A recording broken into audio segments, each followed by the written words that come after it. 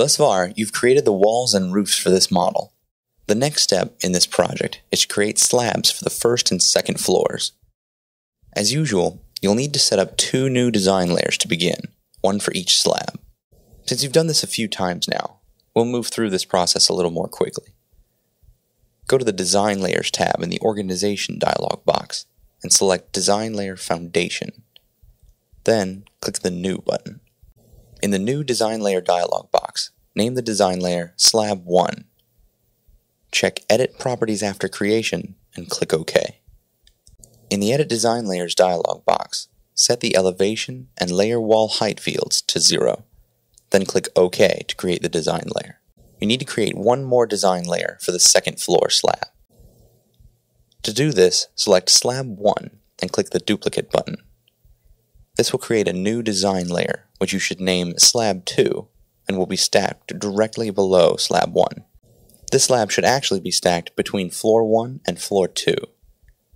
To change the stacking order of the design layers, click and hold in the digit located to the right of the design layer name in the number column. Then, drag your cursor upward until a bold horizontal line appears between Floor 1 and Floor 2. Now release your mouse button. As you can see, Slab 2 is now stacked between Floor 1 and Floor 2. Aside from the stacking order, you also need to change the elevation height for Slab 2. So select the Slab 2 layer and click the Edit button. When the Edit Design Layers dialog appears, input 10 feet 8 inches in the elevation field and click OK.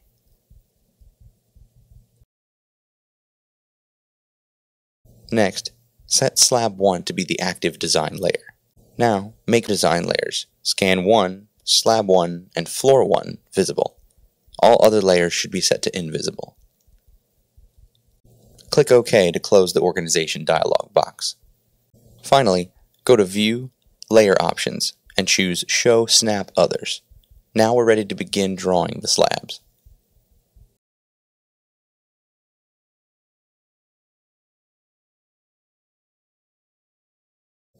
Just as you did with the roof objects, you'll first create the shape with basic 2D geometry and then convert it to a slab. To begin, go to the Attributes palette and select any shade of tan for the fill color.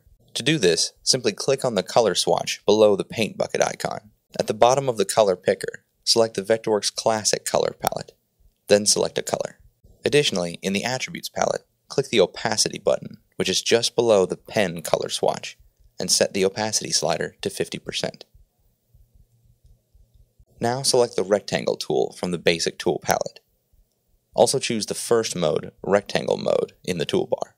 After that, click at the top left corner of the building, where the horizontal and vertical walls meet. Then at the bottom right corner on the opposite end of the building, click once more to create the rectangle. Notice you can still see the walls beneath the rectangle, since we set the opacity for this rectangle to 50%. You'll also notice that the rectangle extends past the building walls near the building entrance. Let's take a second to fix this. Again, select the Rectangle tool in the Basic Tool palette, but this time choose the last mode. Now, you'll need to use the scan of floor 1 to snap to the point where the window wall at the entrance and the horizontal wall below that window wall meet. After locating this point, click to set the first point of the rectangle. The second mouse click will set the rectangle's angle. So move your cursor upward and slightly to the right until you reach the angled wall above. When you see the cursor cue object slash perpendicular, click once to set the angle. With the last click, you'll set the rectangle's width. So move your cursor to the left until you have passed the leftmost vertical wall of the building, then click to create the rectangle. You can use this newly created rectangle to clip a section from the larger rectangle you previously drew. Hold the Shift key, and with the Selection tool, select both rectangles. Next, go to Modify, Clip Surface. Initially, it might seem as if nothing happened, but if you press the delete key to remove the small rectangle, you'll see that the clip was successfully completed. Additionally, if you select the larger rectangle, you'll notice in the Object Info palette that the object has been changed to a polygon. You'll also need to clip the area inside of the round walls from the existing polygon. To do this, select the Circle tool from the basic tool palette and make sure the first mode, Circle by Radius mode, is enabled in the toolbar. Then, to start the circle, click at the center of the round walls when the cursor cue Arc Center appears. To complete the circle, click anywhere on the inside face of the round wall. Next, with the Selection tool, select both the circle and the remaining polygon.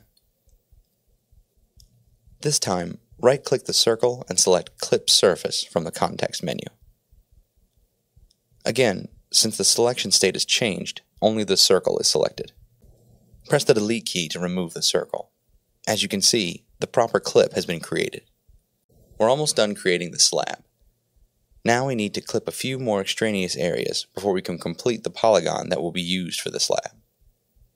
This time, we'll use the Clip tool as a different approach to clipping objects. To begin, select the polygon. Then select the Clip tool from the basic tool palette. Also in the toolbar, enable the first mode, Exclusion mode, and the fifth mode, Polygon mode.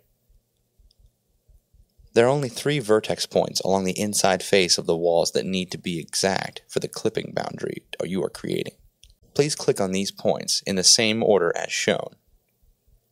Then, for the remainder of this polygon, simply set the points as close to the same area in your own drawing as possible.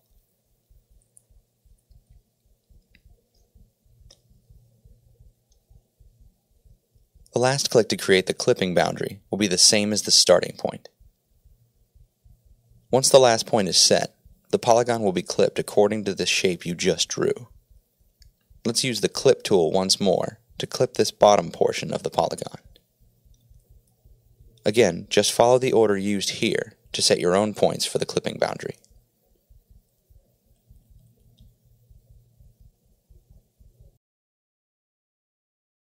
Remember that only the points along the walls need to be exact. The rest of the points need only be relatively close to the area shown here. Just as last time, your start and end points should be the same point. Once we've completed it again, the polygon will be clipped accordingly. Notice in the Object Info palette, because of the way the polygon was clipped, there are two polygons instead of one now. Now you're ready to convert these polygons into a floor. To start, switch to the Selection tool. Select the larger of the two polygons, and go to AEC, Floor. In the Create Floor dialog box, set the bottom Z field to negative 12 inches and the thickness field to 12 inches. Then click OK to create the floor. Notice in the Object Info palette that the object is now a floor. Next, you'll select the smaller polygon and again go to AEC Floor. Use the same parameters as before and simply click OK to create the object.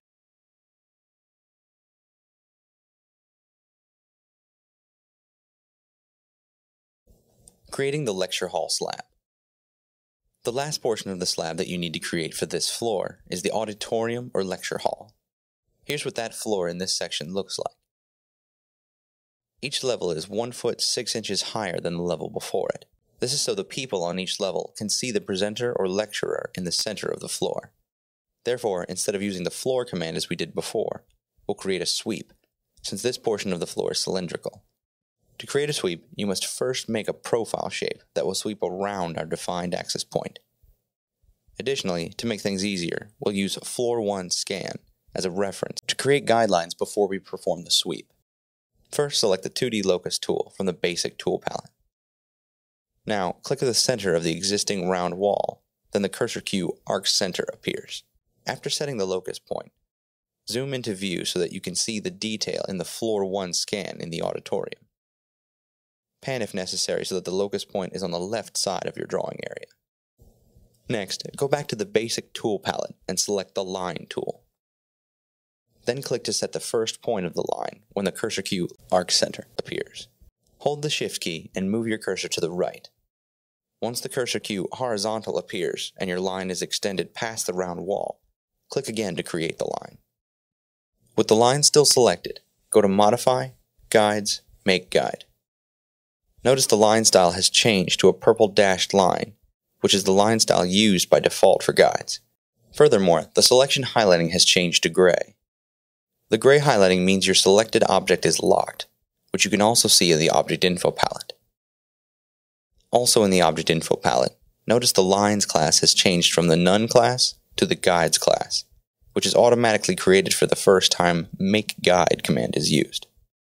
Now we need to create duplicates of this guide, with a spacing of 1 foot 6 inches between each guide.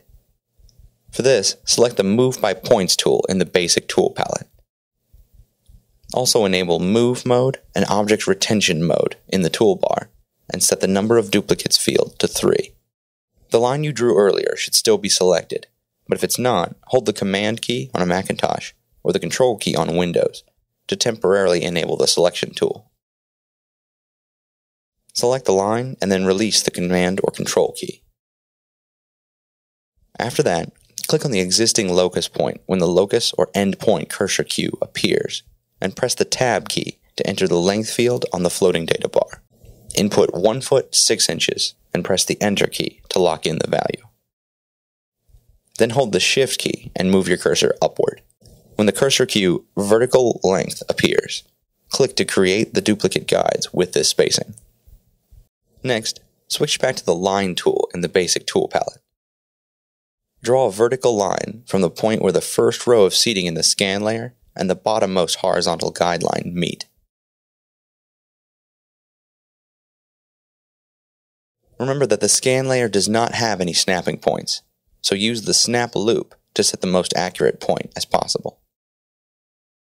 Do the same thing for the remaining three rows of the scan layer. Lastly, select all four of the vertical lines, and again go to Modify, Guides, Make Guide. Creating the guides in this way will make it easier to create the sweep profile to ensure it will match the floor scan. With the guides completed, it's time to move on to creating the actual lecture hall floor with the use of the sweep command. To begin, you'll need to create the sweep profile. To do this, select the double polygon tool from the basic tool palette and click the preferences button in the toolbar. From the double polygon preferences dialog box, set the separation between the two lines to 4 inches. In addition, choose Create Polygons from the Options section and click OK to return to the drawing. To create the double polygon using the existing guidelines, click on the following snapping points in the same order as shown here. On the last point on the wall, double-click to finish the polygon. Notice that a closed polygon is created after you double-click. Now, set design layers floor 1 and scan 1 to invisible so you can get a better look at the polygon. Also change the plane drop-down menu in the Object Info palette to Screen. You should notice each level of this polygon is representative of levels or steps of the lecture hall floor. The last thing we need to do is angle these steps to represent the angle of repose you would see in a real-world situation. With the polygon selected, switch to the Reshape tool in the Basic Tool palette, and make sure Move Polygon Handles mode is enabled in the toolbar. Next, click this vertex point. Then press the Tab key to enter the length field in the floating data bar. Enter a value of 8 inches and press Enter to lock in the value. Now hold the Shift key and move slightly to the right. Once the cursor cue horizontal length appears, click.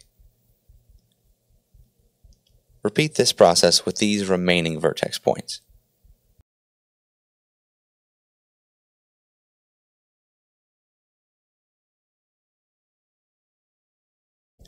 Here's what you should have once completed. The sweep profile is complete, so you no longer need these guides. To delete them quickly, switch to the Select Similar tool in the Basic Tool palette. Then select any of the guides and the rest will be selected as well. If you were to press the Delete key right now, none of the selected guides would be deleted because they're locked. To unlock the lines, go to Modify Unlock. After unlocking, you can press the delete key to remove these guides. You can delete the locus point too. Next, let's switch to a right view. Then select the polygon and go to Modify, Move, Move. In the Move selection dialog box, choose Cartesian and set the X offset to negative 4 inches and the Y offset field to 0. Press OK to move the polygon accordingly. Now go to Model, Sweep. Since you want the selected polygon to make a complete 360 with no additional pitch, you can leave all of the parameters at their defaults and click OK to create the sweep. In the navigation palette, set the Scan 1 and Floor 1 design layers back to visible. Also, return to a top plan view. When you switch back to top plan, you may see the sweep is not in the correct location. To fix this, just select the sweep and drag it by its center point in the middle of the existing round wall. When the cursor cue Arc Center appears, release your mouse button and move the sweep to that location. That's it for the first floor slabs. You can set design layers Floor 1 and Scan 1 to invisible, render in OpenGL, and use the flyover tool to see what you've got so far. Once you're done, return to a top plan view.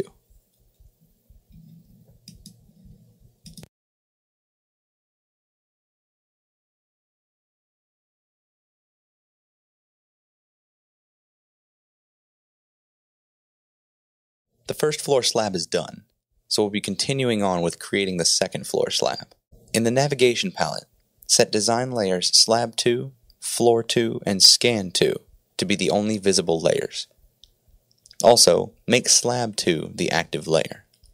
Just as with the first floor, much of the slab creation will rely on the following existing walls, but this time the walls we use as a reference will be from Floor 2 there's only a small section that doesn't have existing geometry to reference, and that's this area, which is actually a balcony with the handrail. So let's start by drawing the handrail shape first. To create this curved handrail shape, you'll need to use the polyline tool in Point on Arc mode. Select this tool from the basic tool palette, and also select the correct mode in the toolbar. Take a look at this curve. You can see it's basically composed of three arcs, with the polyline tool in this mode, you can draw all three composed arcs with one shot instead of having to trace each arc separately and then snapping to the endpoints and compose them. To begin, click on the topmost endpoint of this curved shape. Next, click anywhere along the current arc. Then, click somewhere near the endpoint of the current arc, which will also be the start point of the next arc in the shape. Use the scan as a reference for the best place to set this point, based on the curve of the arc. Now you can move on to the second arc in the shape. Again, you've already set the start point, so the next click can be anywhere along the arc. Then the last click defines this arc's endpoint, and the next arc's start point. Once more, click anywhere along the last arc, and double click at the arc's endpoint to create the polyline. There, you've created the handrail profile in just a few short clicks. You can now switch to the polygon tool in the basic tool palette to finish creating the rest of the floor profile. Also, enable the first mode, Polygon from Vertices mode. Click at the topmost endpoint of the polyline you just created, and hold the Shift key while moving your cursor upward. Then, double-click on the inside face of the first wall you reach. With the polygon tool still active, click on the bottommost endpoint of the curved polygon, and then follow the straight line that is connected to the curve in the scan layer. After the cursor cue, 30 degrees appears. Click somewhere near the end point of the line to match the scanned layer.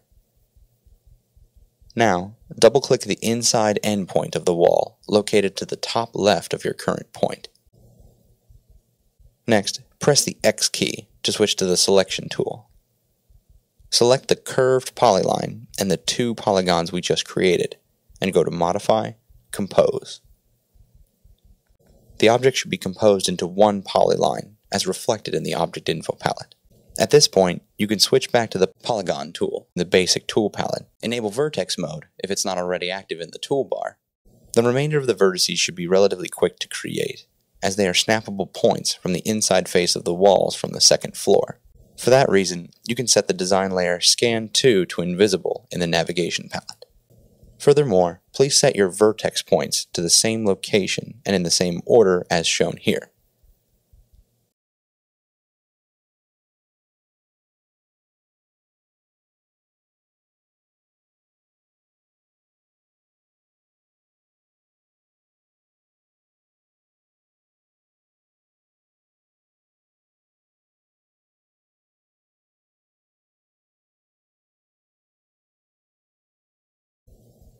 Don't forget to double click your endpoint to complete the polygon. Switch back to the selection tool. Hold the B key to enable X-ray select. Select your newly drawn polygon and the curved polyline, and then again go to Modify, Compose, to convert these two objects into one large polyline. As you can see, this is only a portion of the remaining slab. So again, enable the Polygon tool in the Basic tool palette, and follow the vertex points set in this video, and set these same points in your file. Just like last time, don't forget to double click to complete the polygon. The last portion of the slab you need to create is in the bottom right corner. It's also the easiest to create. Temporarily make floor 2 the active layer in the navigation palette.